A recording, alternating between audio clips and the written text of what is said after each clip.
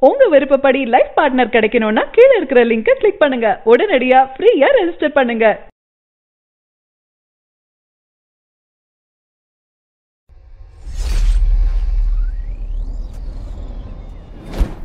நேர்கொண்ட பார்வை படத்தின் முதல் விமர்சனம். தல ரசிகர்கள் மட்டுமல்லாமல் தென்னிந்தியாவே காத்திருக்கும் மிகப்பெரிய திரைப்படம் நேர்கொண்ட பார்வை. இந்த படத்தில் தல அஜித்தின் மிரட்டலான நடிப்பில் வினோத் இயக்கியிருக்கிறார். இந்த படம் பிங்க் படத்தின் ரீமேக் என்பது அனைவருக்கும் தெரிந்த ஒன்றுதான். இந்தியில் வந்த பிங்க் படத்தை தமிழில் ரீமேக் செய்து நேர்கொண்ட பார்வை என படத்திற்கு பெயர் வைத்திருக்கிறார்கள். நேர்கொண்ட பார்வை படம் ஆகஸ்ட் எட்டாம் தேதி வெளியாக உள்ளது. இந்த படத்தின் முதல் காட்சி முதல் ஷோ பார்ப்பதற்காக பல ரசிகர்கள் இப்போதே புக்கிங் செய்து காத்திருக்கின்றனர். அது மட்டுமல்லாமல் தல அஜித்தை வித்தியாசமான கதாபாத்திரத்தில் பார்ப்பதற்கு தயாராகி வருகிறார்கள் ரசிகர்கள்.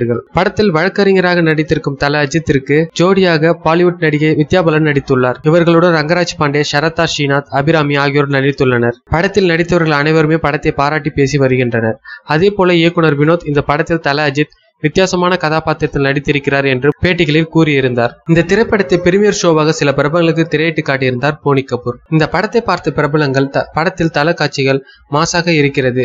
தல அஜித்தின் நடிப்பு கொண்டாட வைக்கும் என கூறியிருந்தார்கள். அது மட்டுமல்லாமல் தல ரசிகர்களுடன் மீண்டும் படத்தை பார்ப்பதற்கு ஆவலாக இருப்பதாக கூறியிருந்தார்கள். தற்போது படத்தை தல அஜித் மற்றும் தயாரிப்பாளர் போனி கபூர் ஆகியோருக்கு படத்தின் அவுட்புட்டை போட்டு காட்டியுள்ளார்கள் படக்குழு. இதனை பார்த்து மகிழ்ச்சி அடைந்ததாக இயக்குனர் வினோத் ஒரு பேட்டியில் கூறியுள்ளார். இந்த படத்தை வெளிநாட்டில் வாங்கிய ஒரு விநாயகஸ்தர் இந்த படத்தை பார்த்துவிட்டு படம் செம அருமையாக வந்துள்ளதாக கூறியிருந்தார்.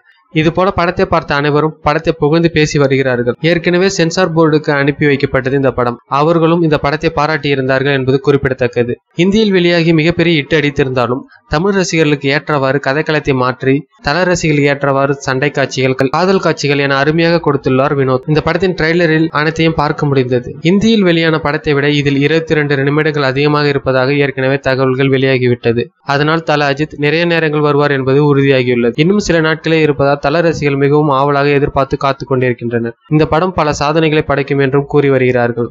தற்போது இணையதளங்களில் இந்த படத்தின் ஹேஷ்டேகுகள் ட்ரெண்டிங்கில் இருந்து வருவது குறிப்பிடத்தக்கது.